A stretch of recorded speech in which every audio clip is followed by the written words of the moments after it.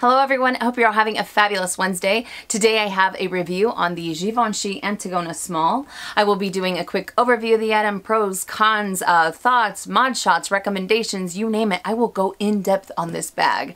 Uh, so I do have my notes in front of me because I want to make sure that I give you guys as much information as possible. So if I keep looking down, you know why. And without further ado, let's get started, shall we?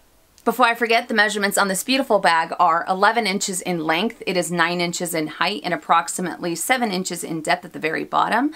Uh, this bag also has a 4 inch handle drop. This also comes with a detachable shoulder strap. Now the shoulder strap uh, is 32 inches from tip to tip, but when you add this to the bag, uh, you have a 13 and a half drop from the top of the strap to the top of the bag.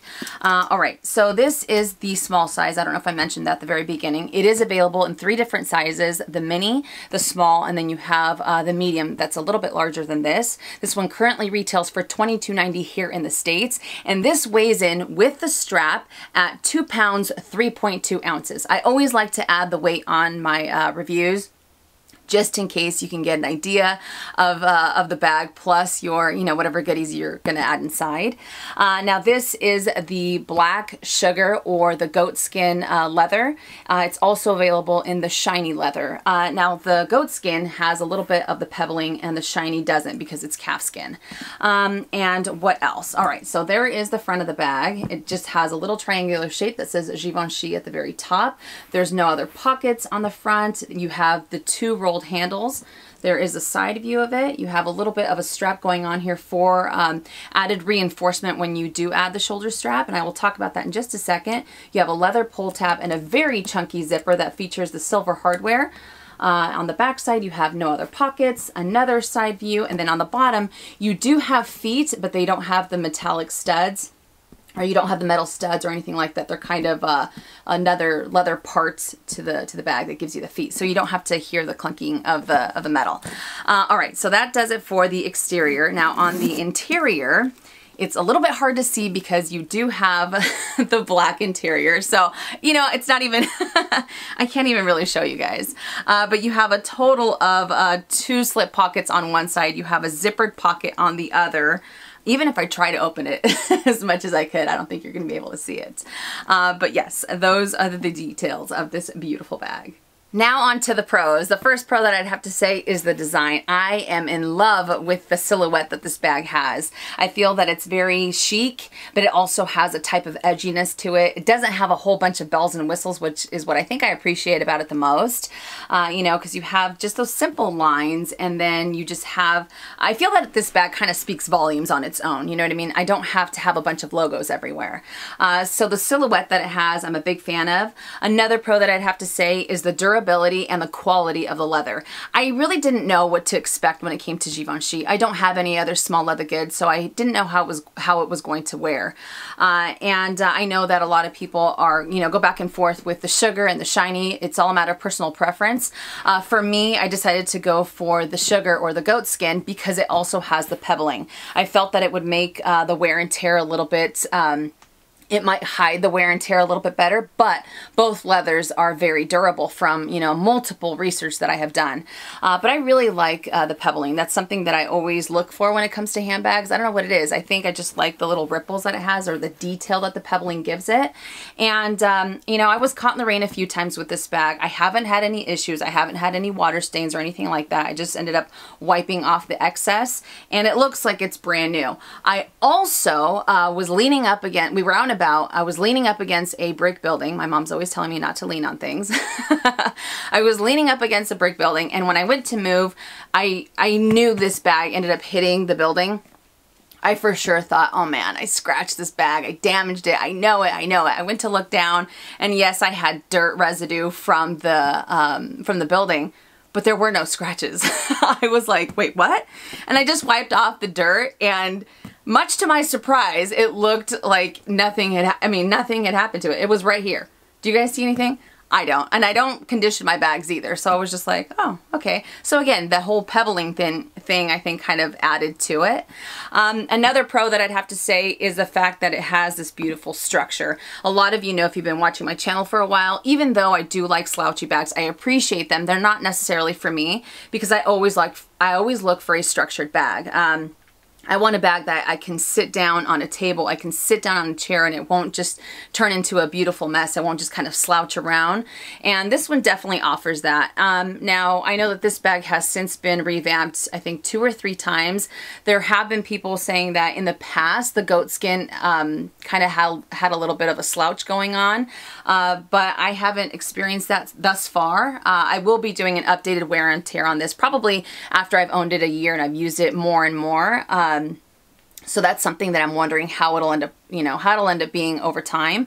Uh, but so far there has been no structure loss. I don't have any dents going on. It just looks like it has held up, I mean, incredibly well. And again, I think that just goes to show the type of quality leather that uh, Givenchy has. Like I mentioned, I didn't have any other small leather goods.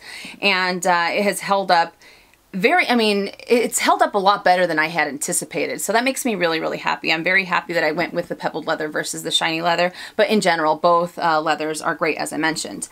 Uh, another pro that I have to say, it's not really a pro, it's a favorite that I just wanted to point out. but that is the zipper. I am a big fan of the zipper. And I think it's because the bag is so simple everywhere else. You know, it's almost, it's like, it's very sophisticated. And then you have this chunky, chunky zipper that just gives it a complete completely different contrast, you know, and I think I like that combination. Uh, and the zipper is very smooth. Uh, it's a little bit easier to, to use both hands to open it up. One-handed, it can be a little bit of a pain in the butt, uh, but you open it up and you're able to close it up with ease, no problem. So it does have a very, um, a very smooth zipper. Another pro that I'd have to say is uh, the size. Like I mentioned, this is the small size. And I've said it before, just because a bag is small doesn't mean that you can only fit one or two things in there. Now, this kind of reminds me of the Louis Vuitton Speedy. It has that same type of silhouette, like the Dr. Satchel type, and I can fit a ridiculous amount of items in here. I don't know what it is. I almost feel like I treat this bag like I do my Neverfull, my Louis Vuitton Neverfull. I just start throwing everything in there, everything and the kitchen sink. I did a what's in my bag video and I, and I felt like Mary Poppins. I felt like the video was never going to end because I kept pulling things out this bag. Uh, now it does, you know, it does, it can make the bag heavy and I will talk about that in just a second. Uh, but I just like the size a lot better than the medium. I was kind of going back and forth with the medium. Uh, and you know, I was thinking, well, the medium I can fit a little bit more. I can fit a little bit, a little bit more. It would make it a little bit heavier because you have a little bit more leather. Uh, but I'm very happy that I went with uh, with the small. Plus, I feel that it kind of, um, I feel that it complements my body frame a little bit better than the medium would. Uh, but yes, so if the small size, if you're kind of worried you can't really fit too much, trust me, you can fit an insane amount of items in here. and I know I should stop like putting everything, I don't need to carry my whole house with me. And I feel like sometimes I do that, but um, yeah, the size is definitely uh, another pro. And the last pro that I wanted to discuss is the shoulder strap. Now this is also a con, uh, but what I like about the shoulder strap is that it adds versatility to the bag. It's not just a hand carry bag. It's not just a crook of your arm type of bag. If you needed to be hands-free for a moment or if you're running errands and you just don't want to carry a bag in your hand, you could just pop the shoulder strap on and you're good to go. So, it, I mean, the added versatility that the strap gives it, I think uh, is also another great feature about this bag. Now let's talk about the cons. As much as I love this bag, it definitely has quite a bit of cons. The first one being how heavy this bag can get. It weighs in at 2 pounds 3 ounces without any items. Then when you start to add your items inside, it can make for a very heavy handbag, especially if you're like me, if you end up adding everything and the kitchen sink. I'm a pack rat. I've said this before. Don't judge me. uh, but I know I can stop adding so many things in here. But let's say you have uh, 10 essentials, your iPad, your agenda, and you have other items that you're fitting in here, you can really end up feeling the weight of this bag. So much so that when you're carrying it on the crook of your arm, you can see the rings that, uh, or the impression or the indentation that these beautiful handles will leave on your skin. Uh, you know, there's times that I just kind of take it off and I can see, I can see them as plain as day on here. You know, Robert's looked over and he's like, are you all Are you in pain? I'm like, oh no, it's just my handbag. And I even thought about taking a picture so I can include it in the video for some reason I didn't do that. I don't know why. I should have. Uh, but that way you guys can see just how much, um, you know, how much it ends up digging into my, uh, to my skin. So that is for sure the first con. Another con that I'd have to say about the bag, remember how I mentioned that the shoulder strap is a pro. I think that the fact that this is not an adjustable shoulder strap uh, really makes it a con. Uh, and that's really, I feel that way because you can't really, I mean, if you're a little bit on the shorter side, if you're a little bit on the taller side, um, it's kind of like a one size fits all type of strap. And I felt that if they had included the detail of it being adjustable, it would have been a little bit more user friendly. Uh, that's why I feel that this strap for me is just a decorative uh, purpose. Um, and to be honest, I don't really I really don't find a use for the strap unless it kind of gets me out of a jam where I need to be hands-free or where I need to um, not have, you know, a bag in my hands, then that's great.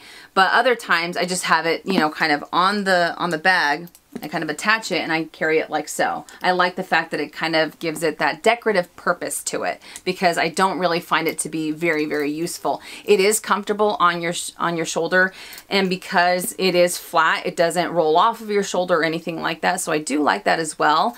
Uh, but it's not really, um, you know, it doesn't really add anything for me anyways. Um, so the fact that it's not adjustable, I think, is a con. Uh, but like I said, it's a pro and a con. It just depends on what you're looking for or how you're looking at it when it comes to this bag. Uh, another con that I'd have to say is these handles again. these handles do get in the way when you are going to retrieve your items. Uh, and that's really because look at how close together they are in comparison to where the zipper is they're I mean they're almost I mean they're they're touching right? They're touching. So when you go to open up the bag you definitely have to deal with these uh, these handles. And uh, I do like the fact that it's easy to pick up the bag because they stay they're stationary. They don't end up falling off to the sides. So I, I mean I like that aspect but at the same time when I'm going to get my items out and I for one am known for using very uh, big you know large rings I'm always hitting my rings up on these uh, on these handles. And usually when I go to retrieve my items I have to kind of put the, this handle down or whichever handle it is with my wrist kind of get it out of the way in order for me to get my item inside. Uh, so I thought I would mention that as well. It could be a little bit fussy. Uh, these are just details that I feel that are imperative when it comes to, uh, to talking about this bag and whether or not you want to add it to your collection. Um, all right, so staying on the whole thing with the handles, when you go to add the shoulder strap, because the handles are in that same stationary position, when you go to add the bag, let me just show you guys really quickly. So you have a little bit more of a demo. Um, give me one second because the other con, I just, I don't know. It's, it's, I feel so bad because this bag has the same, like the same amount of pros and cons. All right. So when you go to add this bag, it ends up hitting right underneath your arm here. And I'll show you guys that in the in the mod shots. Uh, but it ends up hitting right here. So if you end up if you end up having a uh, like a bulky sweater, if you have a thick jacket, you're going to be able to feel these even more so right underneath your arm. So it can be a little bit uh, uncomfortable. Uh, so I do like the handles. I think they're great again because you're able to grab them very easily, but they do get in the way. Uh, another con that I'd have to say is this, um, the, the way that you add the shoulder strap to this bag, it is so insanely fussy. And uh, I get why Givenchy did it. When I, I, when I bought it, I was talking to the sales associate there and uh, he said that the reason why they ended up adding these grooves. They have uh, this same groove that you see here is also on the uh, on this buckle here. So they don't really have a type of uh, D-ring or a type of buckle that you add on kind of like a Louis Vuitton. You just have a little bit of an indentation there. They wanted it so it was an inconspicuous way of adding uh, a shoulder strap. They wanted it to look like part of the, of the design of the bag. The only problem with that is when you go to add this um, this little guy here, when you go to add it on here, it is time consuming. Okay, it might be a few seconds, whatever it is, but I feel that it's very tedious because you only have one specific spot where you can add, let me turn this around so you guys can see it. You have one specific spot here that you can add this little groove here. So you have to line it up almost perfectly. You have to literally take the time to hold the bag to add the strap on in order to hook it in. Um, and it doesn't end up uh, falling off. I know that previous uh, versions of it, when you would go to add this on, sometimes it would come off because it was a little bit too loose. So they fixed that, but it makes it a little bit kind of like, okay, I have to concentrate, put the hook in, and then you're good to go. So it's not like you're out and about and you're in a hurry and you want to add the the strap, it doesn't work that way. Again, it might be something so small, but that's the main reason why I feel that I also leave this uh, the strap as a decoration. I feel like I don't even want to bother with putting this, you know, taking it off or putting it on whenever I'm out and about. When I do go to store it, I take the strap off and I just hide the strap inside. But uh, like I said, I love the bag, but those cons are something that I feel uh, had to be addressed.